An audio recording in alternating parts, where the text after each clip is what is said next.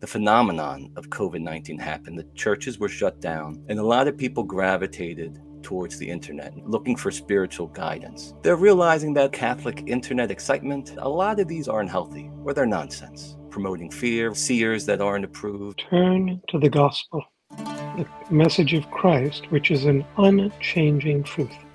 And any prophetic post biblical revelation that claims that we ought to do this or that, in so doing, shifts our attention off that of the gospel theme we must reject. Now, when I say shifts our attention off of the gospel theme, I'm talking about faith, hope, love.